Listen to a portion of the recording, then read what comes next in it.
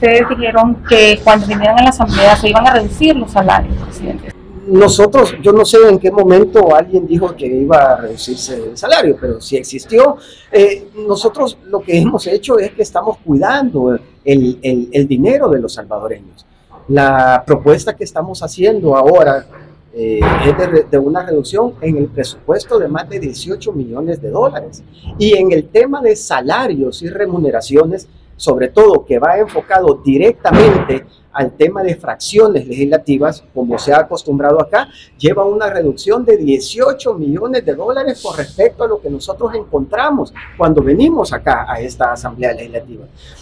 Eh, vamos a, es, tenemos una propuesta, ya trabajamos la legislatura anterior, cerramos con menos de 400 plazas, de acuerdo a como nosotros la eh, encontramos eh, este órgano de Estado.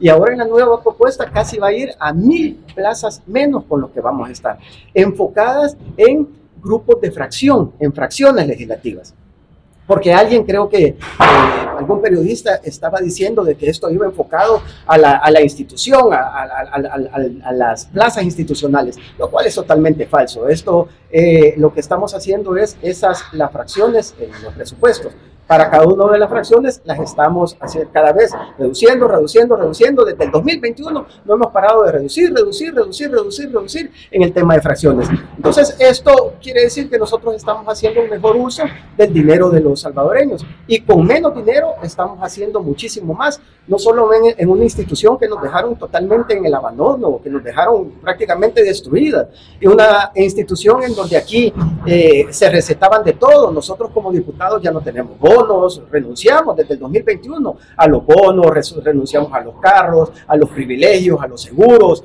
a, todo eso que los legisladores anteriores, los de Arena, los del FMLN y todos los que estaban acá, eh, Rodolfo Parker, etcétera, etcétera, toda esa pacotilla de, de, de personas que estaban en esta asamblea legislativa, se habían recetado y todo eso ha cambiado. Yo creo que ahora el pueblo salvadoreño, los lectores de tu medio, eh, independientemente de las diferencias que podamos tener, creo de que eh, eh, ellos mismos aceptan de que este órgano de Estado ha cambiado para mejor. Eh, todo ha sido positivo, todo está siendo positivo y muestra de hecho han sido las, últimos, las últimas elecciones también, ¿verdad? en donde nosotros como Asamblea Legislativa tuve, tuvimos muchísimo más apoyo que en el 2021. ¿Se ha convocado una marcha para el sábado? Mira, nosotros desde, desde el 2019 y nosotros ya como legisladores desde el 2021, que gracias a Dios y al pueblo salvadoreño estamos acá, nosotros hemos trabajado para, eh, para precisamente lo que tú me acabas de decir, para que el pueblo tenga derecho a manifestarse. Eh, está claro de que nosotros vivimos en un país democrático, en donde todo el mundo tiene derecho a manifestarse. Entonces, si hay sectores que quieren pronunciarse en ese sentido, pues bienvenido, para eso nosotros estamos trabajando acá. Y eso es lo que nosotros tenemos que defender siempre, el empoderamiento ahora que el pueblo salvadoreño de verdad está teniendo, eh, a diferencia de como habían antes con los gobiernos anteriores. Así que eso pues, o sea, es una muestra más de que vivimos en un país libre y democrático. Si bien es cierto, sí se van a manifestar, pero también los van a escuchar, se van a reunir con ellos. Si es que tal como el ministro de Hacienda lo dijo, o sea, se va a revisar, hay que profundizar sobre eso. Ahorita lo que se ha hecho no es que se les esté quitando el escalafón, es que el escalafón se va a mantener igual. Lo que, se, lo que dice, de acuerdo al ministro, también como lo ha manifestado y lo ha explicado much, muchas veces, es que se va a congelar el escalafón, o sea, nadie va a ganar menos de lo que ya estaba ganando y se va a revisar a profundidad para ver qué otras decisiones se toman.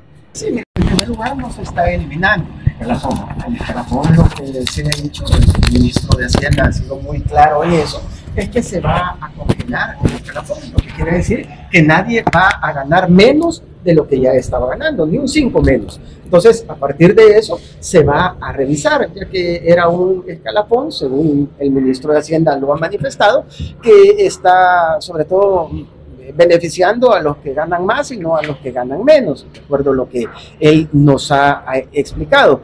Ahora bien, eh, en este país vivimos en un país libre, democrático, que las manifestaciones pues eh, se dan. Aquí eh, todo el mundo tiene derecho a expresarse y nosotros vamos a seguir trabajando para que el pueblo salvadoreño siga teniendo eh, ese derecho.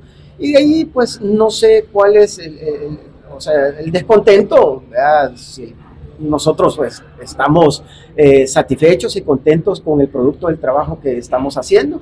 Y, y eso es lo que nos está diciendo también la población Repito, si hay alguien o algún grupo o algún sector que quiere manifestarse, pues está en todo su derecho. No, que yo sepa, no, y si ustedes tienen alguna prueba, deberían de presentar las pruebas, deberían de hacerlo de manera concreta, o ir a las instituciones y presentar de alguna manera concreta, porque si no, lo que tú estás haciendo es una especulación, que estás queriendo que eso sea grande y meter esa como intriga que es lo que a veces hacen algunos medios como el que tú representas. Entonces, si hay alguna, algún hecho concreto, díganlo, díganlo concretamente, díganlo. Fulano de tal, el día de ayer, a tal hora, dijo esto, esto, esto, y estas son las pruebas.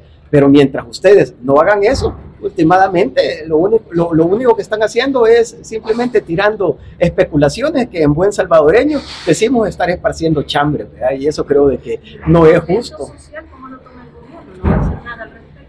De hecho, nosotros estamos trabajando. Acordate que el descontento social eh, que nosotros recibimos a partir del 2019 ha sido grande en este país y fueron 30 años de descontento social. Y hemos venido reconstruyendo el país con el trabajo con el que se está haciendo en el 2019, en el 2021, en el 2024. Y muestra de eso ha sido el apoyo creciente cada, cada vez más de los salvadoreños al nuevo proyecto que ahora estamos viviendo y a los resultados que ahora estamos disfrutando como salvadoreños.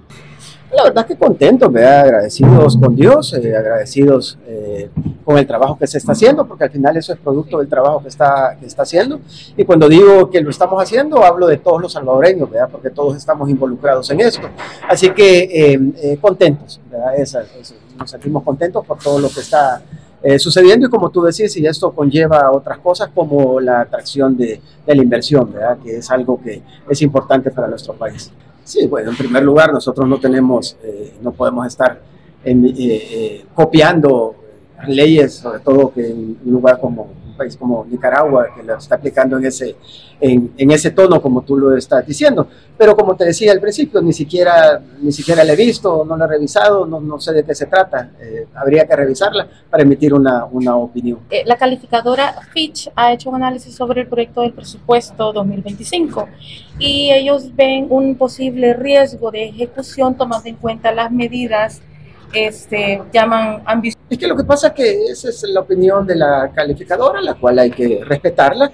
Eh, sin embargo, pues todavía nosotros tenemos un presupuesto que está en estudio, todavía no ha sido aprobado. Es algo que lo tenemos, eh, lo debemos de tener claro. Seguramente lo vamos a aprobar en el mes de diciembre, después de tener eh, todas las reuniones en la, en la comisión, la Comisión de Hacienda y Especial de Presupuesto.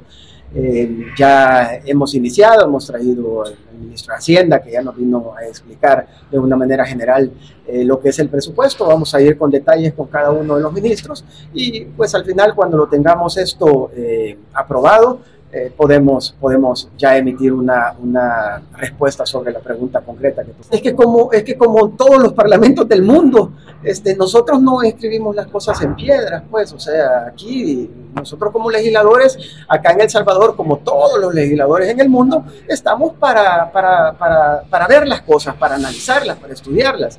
Y cuando se requieren cambios que son de beneficio para la población, pues nosotros debemos de estar abiertos a eso.